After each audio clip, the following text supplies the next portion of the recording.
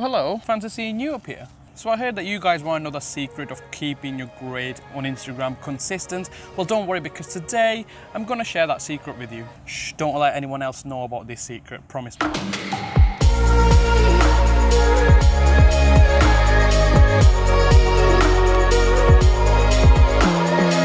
Alright, so you me in the worst place for photography in the world. I'll tell you why in a bit, but for now, let's just dive straight into the five secrets that I want to share with you to keep your grid style consistent. Alright, so the first one is choose the main colors. Now, these can be the three, four main colors that you want to portray through your Instagram feed. Basically, choose them and just go with them throughout the next couple of months. For example, on my feed right now, I'm on blue and red, and you can see that theme going on consistently throughout like for the past couple of weeks. Secondly, choose a photograph, go with those colors and create a preset. It's pretty easy on Lightroom, but I don't know what editing software you use, but pretty much what preset does is saves your editing style into one click. And by one press of a button, it'll apply those settings for you. Then take that preset that you just created with one photograph, test it on multiple of them. I'd say about 10 to make it somewhat good, if not perfect. And on number three is basically just use that bloody preset. It's, it's simple as that. And obviously over the time, develop that specific preset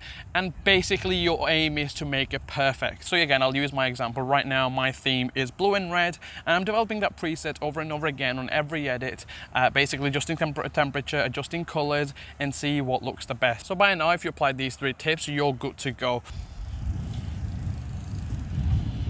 All right, so uh, I'm kind of off from here because this place is looking a bit boring and I'm pretty sure I can get some good shit from this place. I meant good shot, by the way, not shit.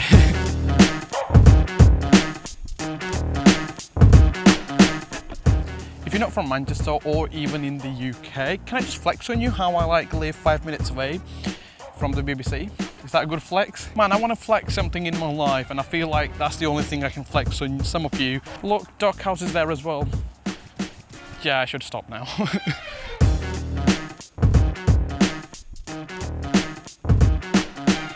okay, I do low-key want to mount my camera with the GorillaPod here, but that would be a big risk, as you can see. Yeah, but the shot will look cool though. Look at this. All right, I found a nice little spot for myself here.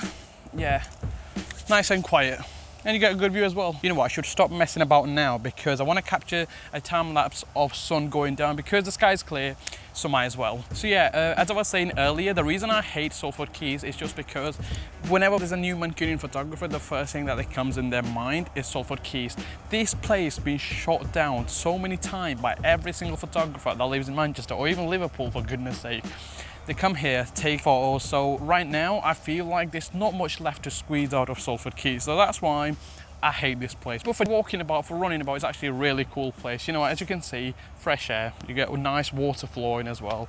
Can't really complain. All right, enough mucking about because I want to capture sunset today before it's a bit late yeah, let's start with the fourth, fourth? Yeah, with the fourth tip or secret. So number four, I would like you to be mindful of what you're posting. So what I basically mean, before I actually started to learn about being consistent and that, I just dumped every single photo that I took on my Instagram and it kind of looks like I'm an amateur beginner photographer. In fact, when I actually got someone's opinion about should I charge clients, should I do that, and they replied me saying you shouldn't because by looking at your work, it looks like you're a beginner. And it was just only because I posted every single photo that I took uh, that made me look like I'm the beginner, I don't know anything. You see, Instagram is a place where a client can actually see your work or fellow photographer who want to collab with you.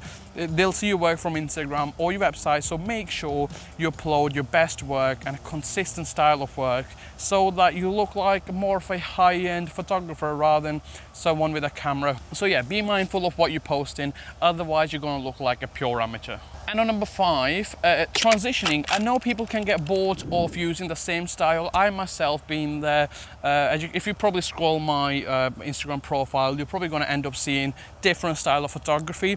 Now, yes, I'm guilty of doing that by myself. Like I don't transition my different style, but that is something I'm going to start doing soon. But what I mean basically, don't just start uploading different type of photo or different color photo randomly out of the blue because that just looks, again, super amateur. So the right way to transition basically to a different style is by working from the same preset and modifying their settings slowly and slowly so that on the grid it's nice and slowly. The, the transition is basically nice and slowly, that's what I'm trying to say. I can't speak English, I know. And how do you do that? Well, basically, in my opinion, it takes about six or 12 photos to create a nice transition. So basically, start your modification with one photo and then increase the modification on the second one and so on and so on until you reach to your happy point probably about on the 12 photo. And also some people like to have two or three different styles of edit.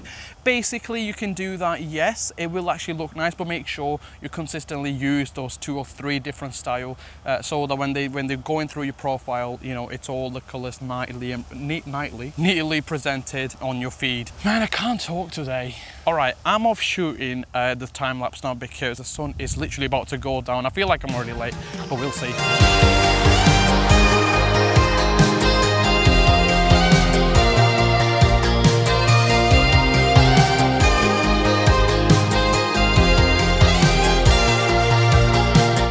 The initial plan was to get a sunset, but however, I'm not going to make it to the spot. I've decided to do it here. This clear uh, view of the sun down there. So I'm going to capture it from here now. Change of plan, just because I couldn't make it.